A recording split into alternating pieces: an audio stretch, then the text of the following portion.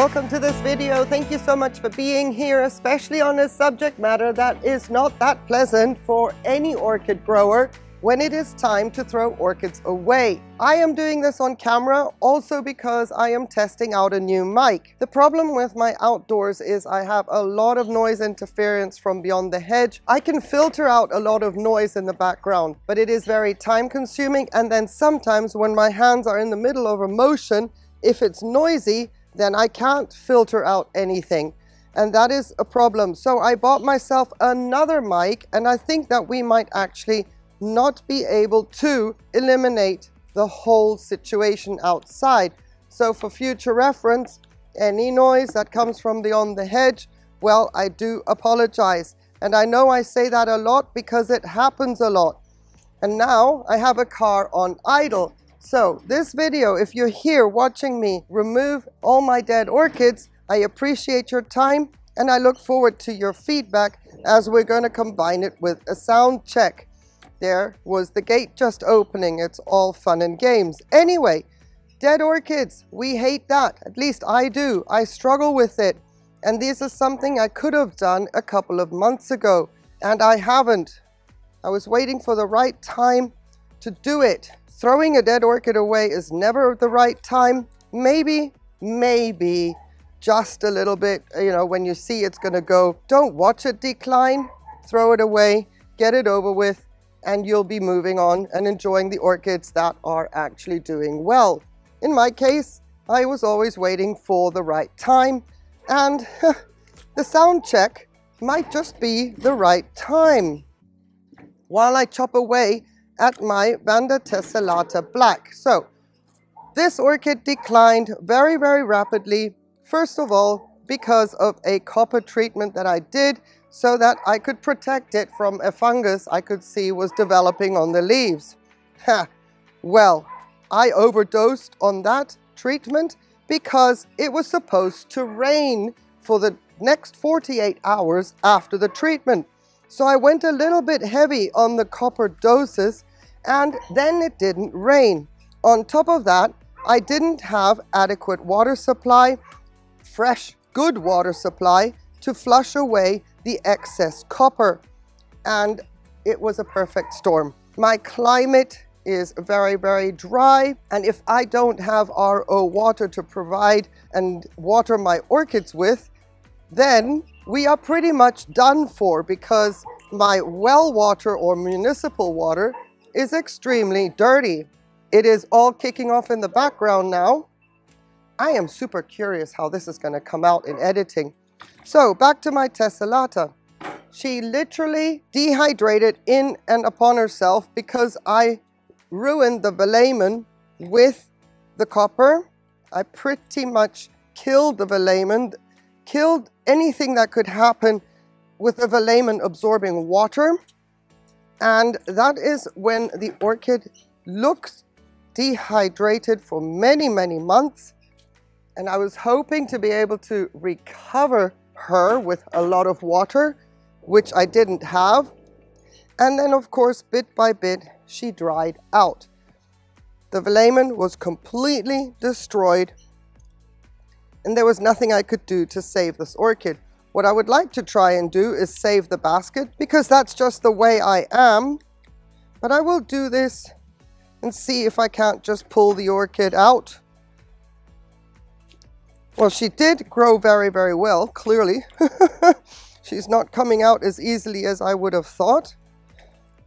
So there are plenty of roots down in the lava rock where she was anchored right at the beginning when she came into my collection.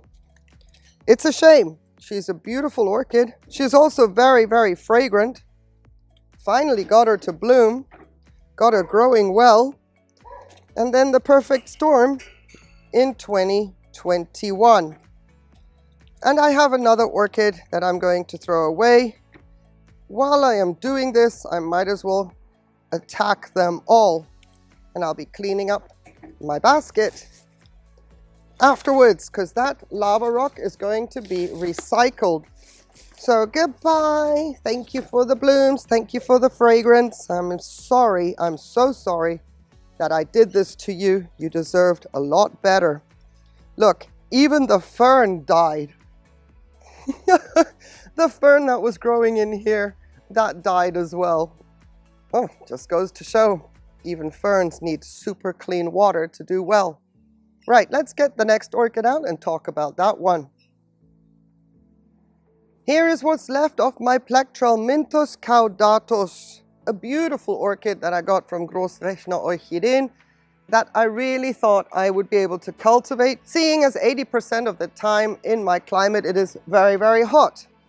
What I didn't factor in was she likes it very, very humid as well. A minimum of 75% during the winter and 80 to 85% consistently, preferably throughout the entire year. That is where I went wrong.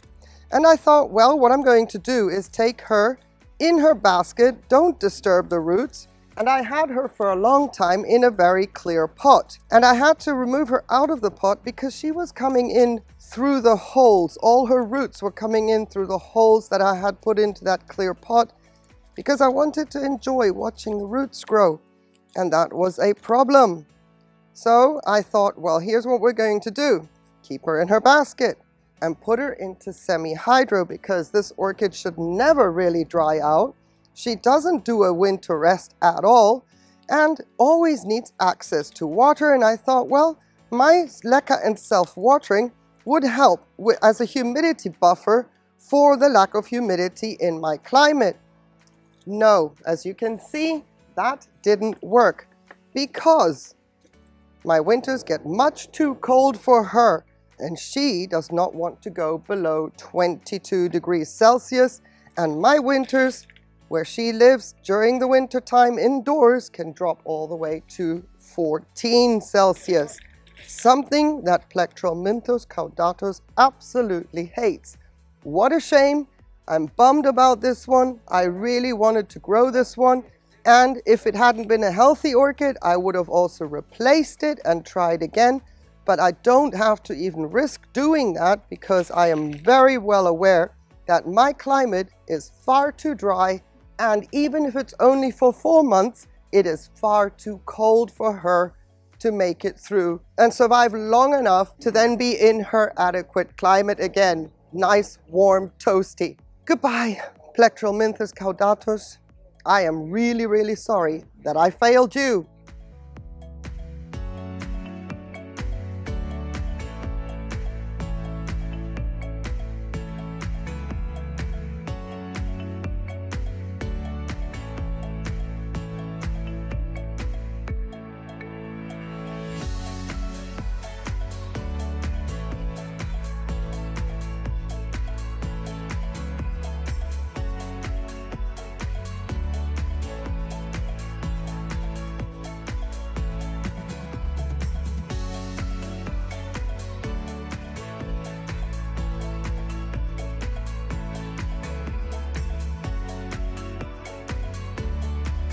Spring cleaning, we are going to get radical.